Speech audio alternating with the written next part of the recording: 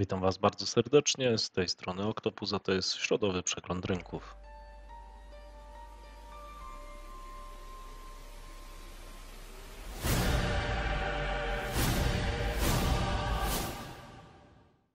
Zaczynamy od Bitcoina. Na Bitcoinie standardowo niewiele się dzieje. Jestem poza rynkiem. Wyciągnęliśmy płynność z tego szczytu. Jest wybity stop loss. Lecimy sobie tutaj w konsolidacji.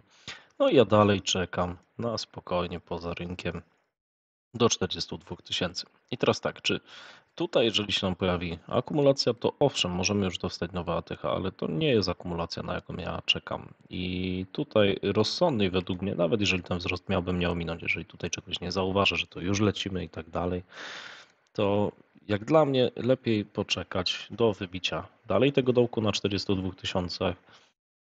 On jest na fajnej, równej cenie. Myślę, że on powinien zostać wybity. No i tutaj, jeżeli dostaniemy wcześniej jakąś akumulację, no to być może faktycznie będzie po prostu strzał jazda w górę z tego miejsca. Natomiast chciałbym tutaj zobaczyć jakąś akumulację, zbieranie tego depozytu. Tu zapewne na jakichś forach, czy tam gdzieś panikę, że to już leci w dół i tylko w dół, tak jak dokładnie mówiliśmy tutaj. Czyli o, w górę, w górę, potem było, że o, lecimy w dół, potem linia trendu, pyk, przebite i dziękujemy. E, tak samo tutaj bym chciał zobaczyć coś takiego. No i to może być to, ale mi osobiście jeszcze to do końca nie pasuje i jestem poza rynkiem. ETH podobnie. ETH jest dalej dla mnie drogie e, do kupienia i tutaj minimum chciałbym zobaczyć wybicie tego dołka, natomiast miejsce dla mnie od sprzedaży, jakiejś akumulacji, w zależności od tego, jaki będzie moment na rynku, to jest y, około 3000. No i w zależności tak samo od tego, co na rynku się będzie działo w danym momencie, to tutaj miejsce do dalszego shorta.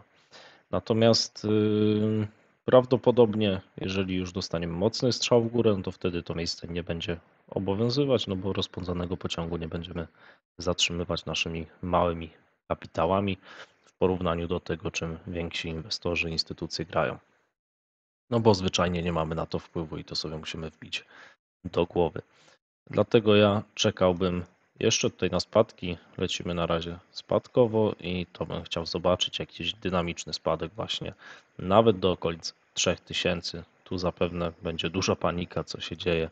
Natomiast w tym momencie poniżej tych 3000 do y, okolic 2600 y, bym widział okazję dla siebie do kupna. Luna. Luna jest w takim ciekawym, nieciekawym miejscu. To znaczy, teoretycznie, dopóki nie przebijemy tego, to z tych okolic możemy lecieć w górę. Natomiast czy tu jest reakcja i lecieć w górę mam na myśli tutaj do 96, do 106, czyli pewnie 95 i 105, bo zazwyczaj w takim wypadku, gdy nie mamy ceny po lewej, grają nam tutaj y, jakby największą rolę ceny, y, ceny równe, ceny psychologiczne. No i oczywiście zawsze znajdzie się ktoś, jakiś cwaniak, który przed tą równą ceną typu tutaj 105 sobie e, to już zacznie realizować. My też tak jak takie cwaniaki powinniśmy troszkę na tym rynku myśleć. Natomiast to, co widzę tutaj, to w dalszym ciągu, w dalszym ciągu nie jest to, czego bym oczekiwał od tej reakcji cenowej. I ja to tutaj rozgrywam dwojako. Po pierwsze, mam całą tą strefę, mm, która tutaj jest na, na longi, ale zapewne spróbuję sobie drugie wejście. Drugie wejście w tym rejonie. Nawet być może teraz. Natomiast to, co bym chciał tutaj zobaczyć, to cenę w okolicach, z tego co pamiętam, w tych okolicach. 85 i tutaj agresywny stop loss, agresywny stop loss, który dałby nam bardzo fajny risk reward, to nawet z wejściem tutaj. Agresywny stop loss zaraz poniżej tego dołka dosłownie pips, tak? Mm, twierdzę, że to może być, już być początek tego wzrostu i wygląda to dość dobrze. Natomiast no tutaj 1 do 5 czy 1 do 10 bardzo, bardzo kusi przy takim momencie. Prawdopodobnie e, na takie wejście tutaj zaryzykuję sobie tylko 2,5% depozytu, a nie standardowe 5%, e, co rzadko się zdarza, natomiast e, jest to powiedzmy pewne, pewne doświadczenie i twierdzę, że stąd już możemy pocisnąć w górę. Jeżeli chodzi o palat, to palat prowadzimy sobie bardzo ładnie od tutaj 1525. No i palat, cóż, cóż mogę powiedzieć, jeżeli ktoś wchodzi faktycznie ze stop lossem, no to przypominam, że jeżeli ta osoba zaryzykowała 5% depozytu, czyli tyle, ile normalnie ja, mogła zaryzykować 10, mogła 15, nie wiem ile ryzykujecie. Ja mam pod swoją metodę, pod swoją statystykę, pod, swój, y, pod swoją skuteczność dopasowane 5% ryzyka i to się gdzieś tam sprawdza. No to jeżeli ktoś zaryzykował 5% ryzyka, to w tym momencie powinien mieć z tego depozytu, który ryzykował, 55% depozytu zarobione. Jeżeli to dla kogoś jest ok, jeżeli tak dalej, no to pamiętajcie, że można realizować zyski. Tak dalej, jeżeli ktoś ma panikować, jak cena zacznie spadać, to zawsze pamiętajcie, żeby chociaż może czego ja nie lubię do, do końca wyciągnąć część zysku. E, jest to, jest to fajne przy niektórych wejściach. Przy tym ja osobiście nie będę realizował tego zysku. Spodziewam się, spodziewam się tutaj zjazdu w dół. Zjazdu w dół po wyciągnięciu tych płynności po lewej. Tutaj teraz oczywiście większość już rynku jest za wzrostami, no bo to leci, tak. Tu, tu, tu mówi o ładny wykup, poszedł ktoś i tak dalej. Natomiast to, co chciałbym zobaczyć, to zjazd tutaj i następnie po dotarciu tutaj przebicie najlepiej tego szczytu. Natomiast ze względu, że jestem dość ostrożny w tych analizach, to mam tutaj poziom 2,138. Jeżeli coś z tego poziomu zacznie się dziać nie tak z ceną, dostanę jakąś nagłą reakcję cenową, duża ilość zleceń tutaj wejdzie, no to oczywiste jest, że wezmę i, i tutaj będę zamykał całość, yy, całą pozycję. Najlepiej oczywiście byłoby, gdybyśmy ten szczyt przebili. No to wtedy, moi drodzy, możemy liczyć na e, tutaj nawet dojechanie do 3000, co da nam już potężny risk reward. No i dla mnie na pewno znowu kilkumiesięczne, czy tam możliwość kilkumiesięcznych wakacji od e, tradingu, których pewnie nie zrobię. E, 1 do 37, no to przy 5%, 5% razy 37, to można sobie wyliczyć, ale pamiętajcie, nie róbcie sobie szklanego sufitu, wtedy cena dojdzie tutaj, będziecie mieli w głowie 37, 1 do 37 i okaże się, że nie zamkniecie pozycji tutaj pomimo wszystkich tych sygnałów, które tutaj będą do, docierać, że tutaj jest short, że leci duża ilość zleceń, no i zostaniecie z niczym. A przypominam, że obecnie powinniście mieć już 55% depozytu zarobione. Może to jest dla kogoś dość, może nie. Jeżeli ktoś, mówię, nie czuje się na siłach w prowadzeniu pozycji, nie będzie wiedział, jak ma zareagować tutaj, to wtedy musi dla siebie dostosować najlepsze rozwiązanie. Natomiast korekta do tego miejsca dla mnie nie będzie niczym strasznym. Najwyżej zarobię trochę mniej, bo będzie to e, ile w tym wypadku zmierzymy sobie Pewnie, jeżeli tutaj będzie jakaś reakcja cenowa, która mi się nie spodoba, no to 1 do 3, 15% depozytu też nie jest złym zarobkiem. Dobra. Hmm, czyli, czyli palat. Po prostu według mnie korekta. No i tutaj możliwość dołączenia, tak? No i, i zobaczymy. Zobaczymy. Oczywiście tutaj po znowu reakcji cenowej odpowiedniej, czyli liczmy na razie od góry, nie ma co. No to tutaj nawet z samego tego 1 do 5 powinno być i pewnie to sobie, jeżeli tutaj ładnie wejdzie, zaksięguję, a tą pozycję z dołu będę trzymał. E, złoto. Złoto short term zagranie. Złoto cały czas longi, longi, longi i tego się trzymam. Longi przynajmniej do 1860, 1850. Czyli tu bym gdzieś chciał to złoto zobaczyć.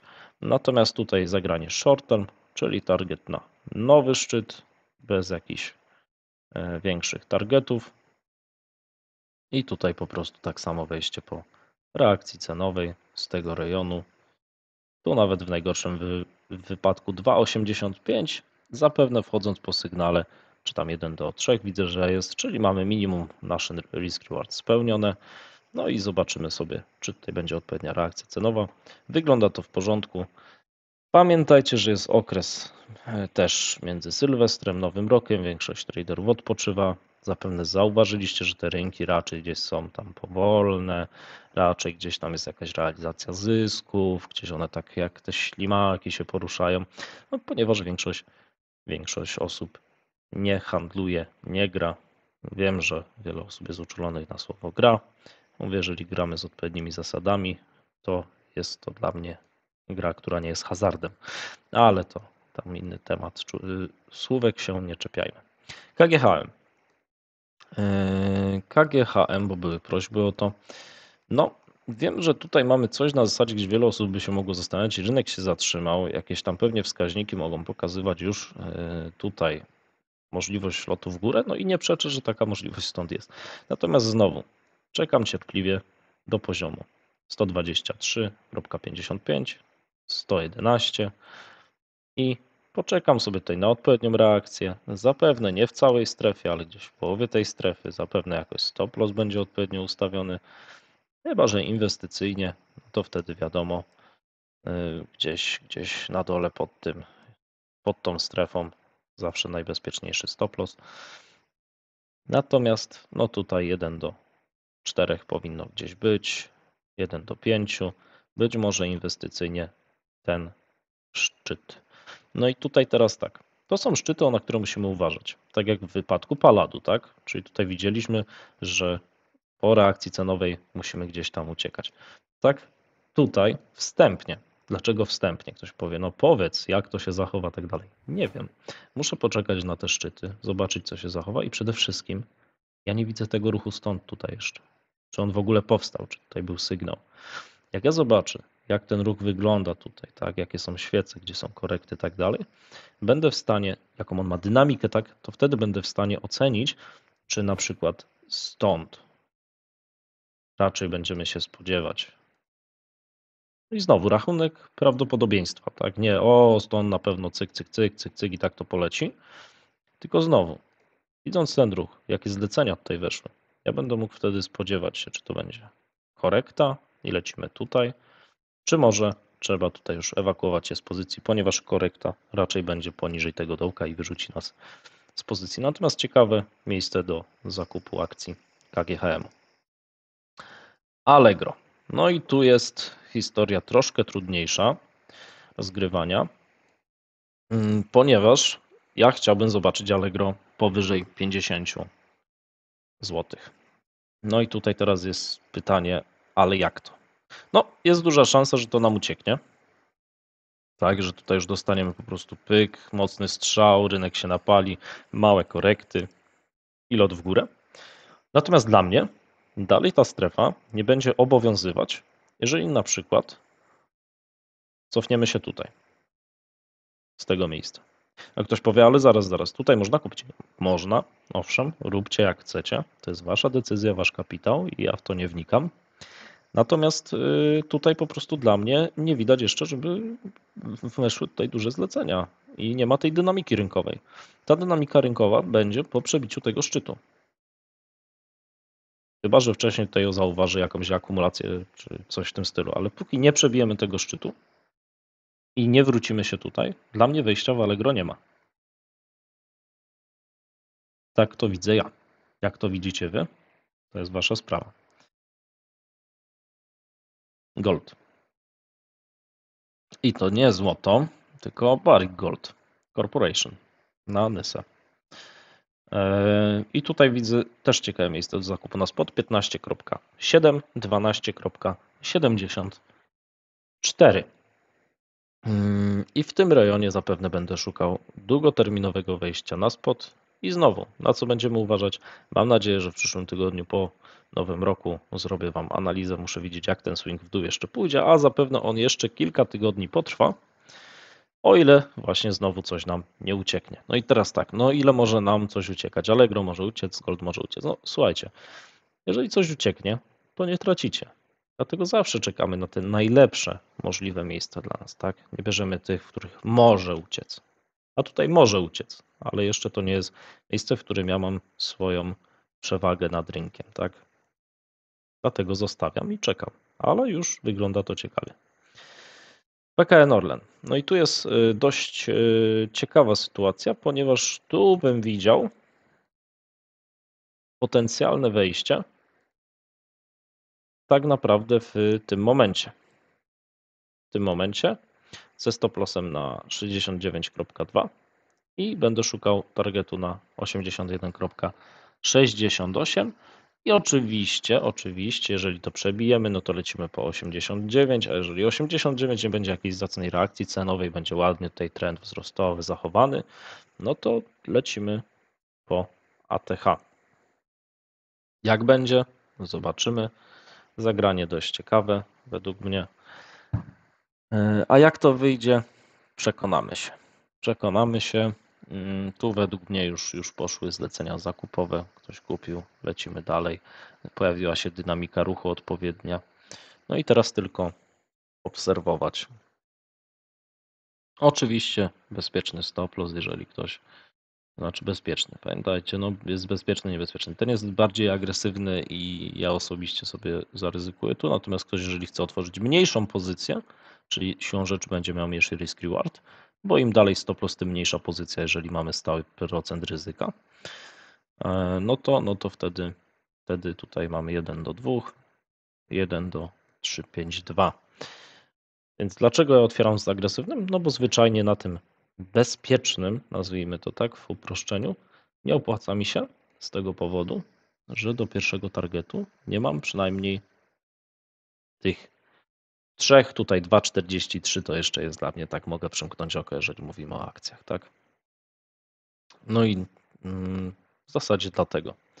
Stąd agresywny stop loss tutaj, który też jak najbardziej ma sens według mnie 2,6 i tak dalej. Cóż, na dzisiaj to tyle. Mam nadzieję, że po świętach wy jesteście wypoczęci. Pamiętajcie, że nie musicie w tym tygodniu handlować. W żadnym tygodniu nie musicie handlować, ale w tym tygodniu mamy właśnie taką sytuację, że te rynki są takie ospałe, ociężałe, tak jak my po tych stołach świątecznych, gdzie każdy się najadł. I czekamy sobie na Sylwestra. A co po Sylwestrze? No po Sylwestrze zaczynamy poniedziałek tradingowy, standardowo trzeciego i zaczynają się historie w postaci znowu wracają wszystkie trading roomy, prophausy do roboty. No i zobaczymy na pewno pewną dynamikę, być może teraz przeprowadzały jakąś akumulację, więc możemy się zazwyczaj spodziewać jakichś większych ruchów. Na dzisiaj to tyle. Trzymajcie się. Hej i szczęśliwego nowego roku.